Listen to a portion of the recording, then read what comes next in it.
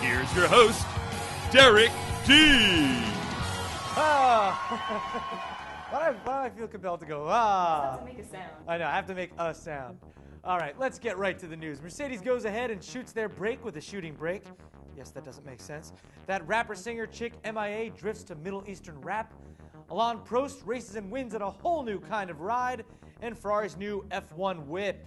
And hey, we've got a dumbass Tuesday, of course, because it's Tuesday. What's up, everybody? I'm Derek D. This is Fastlane Daily, and this shitting grin will be on my face for a long time. Ah, still psyched about that giant Super Bowl win.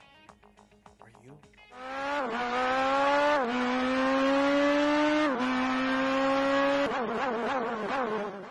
Rolling, Body take four. rolling, rolling, rolling on Tuesday. It's Tuesday. In mind. All right. So 2004, Mercedes has been killing it with their CLS class, breaking open the four-door coupe market like a boss. like a boss. Mm, thank you, Rick. Now it's got some competition with the likes of the Audi A7 and Porsche Panamera. But to reclaim the style throne, Mercedes showed us that CLS shooting brake concept back in 2010. You remember that, Ian? Yeah. Yeah, you do. In short, people thought it was pretty bitchin'. So Ben said, you know what? Let's go ahead and build it. Well, guess what? We now have some shots of the production version testing with only a smidge of camo. Just a smidge. Basically, Mercedes is just covering its ass, figuratively and literally. In the picture, the ass is actually covered, but they're covering it because they don't want people to see it, so they're covering their ass both ways. Now, it's pretty clear the final version will stick to the concept styling with minor changes to the front and rear. Power will come from the coupe's engine offerings, which are 201, 262, 302, and 402 horsepower CDI Blue efficiency variants. Mercedes plans on a summer release with prices just a bit higher than the four-door coupe. Could you guys go for that? Could you guys watching go for that? I maybe could. Hall Notes couldn't go for it. Nah, no can do.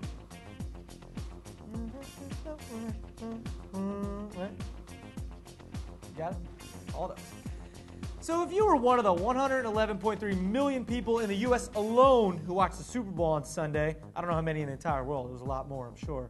When the Giants owned Tom Brady and the Patriots, by the way, you may have seen that chick who's a rapper slash singer slash whatever the hell she is, MIA, making an appearance in the halftime show with Madonna. Why, I don't know. Quick side note, she actually flipped the bird at one point during the NBC broadcast and they didn't pick up on it until later. Anyway, she's been busy lately, apparently with a music video called Bad Girls featuring Arabian style drifting called Hagwalah. Or Hogwalla. What do you think, Kat? Say it with me. Hagwalah. All right, you guys correct me if I'm wrong. So, well, let's let's analyze this. We got a British rapper, Middle Eastern music, rapping, and drifting. That's not your everyday combo. But MIA, whose real name is Mathangam Arul Pragasam, uh, I totally probably just murdered that name, and I apologize. Not to her, because she sucks, just to everyone who knows how to say that name right. Anyway, she shot the whole video in Middle East, in the Middle East, with local drivers and some European cars like the Alfa Romeo 156 and some older 3 Series BMWs. Now, Arabian drifting is pretty weird, just a straight road with accidents almost guaranteed at high speeds, but I guess it is pretty cool to watch. And of course, they got that whole like car tipped on its side with only one front and one rear wheel touching the ground, like you see here. They do that a lot. Takes skill, talent. Either way, that MIA chick is weird, so it all kind of fits. I wish the MIA, I wish I, I tell you, I wish she was MIA, if you know what I mean, like not around. Anyway, go get yourself some Hagwalah action on. Go get yourself some Hagwalah. What am I saying? Hogwalla, Hagwalla. Go enjoy yourself. Oh, moving on. Infamous Formula One driver Alain Prost. Alain Prost. Son of a bitch. Whore. All right. All right. I don't know what's, what's, what's up with that. Anyway, infamous Formula One driver Alain Prost is known for his rivalry with Ayrton Senna and the amazing skill he showed during his years in F1. But not exactly out of the game yet. No, apparently he prefers minivans and French ice racing to F1 cars now. He's racing for the much lesser known Dacia, or Dacia, or Dacia, I've heard it all three ways, in the Andros Trophy Series, where he has known, where he has now claimed the title three times. The most recent of which in a Dacia Lodgy, an MPV that's a multi-purpose vehicle that's obviously just a shell of the production car that will debut in Geneva. I guess you just don't lose that need for speed, even if it is in the French frozen tundra in a Romanian minivan. Winning is winning, and he's still a straight up G when he does it. Right? Old school. Well, now it's time to watch Dumbass. And no, I'm not talking about me. Because why, guys? It's. Dumbass Tuesday. That's right. And that is what we do right here on Tuesdays. Check out this guy in his Audi R8. As you can see, he's got his blinker on, pulling into the parking space. He doesn't apply the brake and fence. Right there. Can we hear that? Can we hear that when he hits the fence again? One more time. Very nice. I mean, come on, dude. Really? You're obviously going to some car meetup since you're parking right next to a Nissan GTR and a Porsche GT3 RS. So this is definitely not a good way to look cool in front of your friends. It's a way to look like a dumbass. Because that is what you are, my friend. Give me that car. I'll park it perfect. Thanks to official Luke's B for suggesting the video. Oh, and uh, Ferrari released their new F1 car a couple days ago, dubbed the F2012, or you could say F2012, fitting.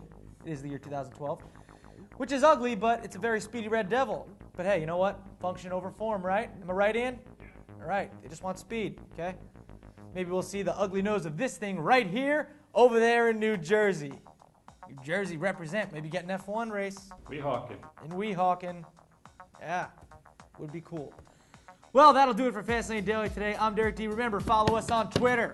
You follow us on Twitter. That's twitter.com slash Fastlane Daily. Also, we're on Facebook. Like us, love us, lick us.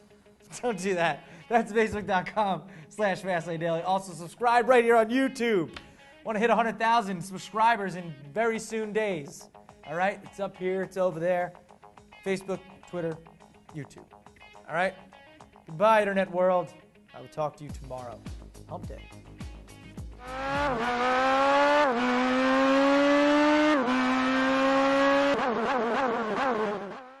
What's wrong with me today? I don't know. Uh, seems like it's a different day than it really is. Um, infamous Formula One driver Alain Prost is known for his rivalry with Air, rivalry. yeah, I'll just, I'm gonna go. What's wrong with me today? Ian? I don't know. All right, who cares? Infamous Formula One driver Alain Prost is known for his rivalry. I can't say rivalry. Rivalry. Rivalry, rivalry, rivalry, rivalry, rivalry, rivalry, rival. He's racing for the much lesser known Dacia, Dacia, or Dacia. I've heard it all three ways, so you can yell at me now for pronouncing it wrong. He's racing in the Dacia. He's ra- I'm not gonna that. I'm not gonna say that. I'm just gonna say Dacia. He's not exactly out of the racing game yet. Rewind. Ow, we're living in the fast lane, baby.